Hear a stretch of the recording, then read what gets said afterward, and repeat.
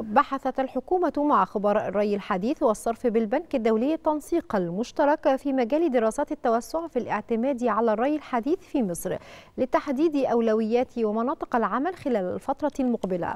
وخلال اجتماع لوزير الموارد المائية والري هاني سويلم مع خبراء البنك الدولي أكد الوزير أن الدولة تبذل جهودا كبيرة لمواجهة التحديات المائية وذلك من خلال تنفيذ العديد من المشروعات الكبرى في مجال إعادة استخدام مياه الصرف الزراعي كما تمت خلال اللقاء مناقشة مختلف البدائل المستخدمة عالميا في مجال نظم الري الحديث مع مراعاة كافة الأبعاد المائية والبيئية والاقتصادية والاجتماعية.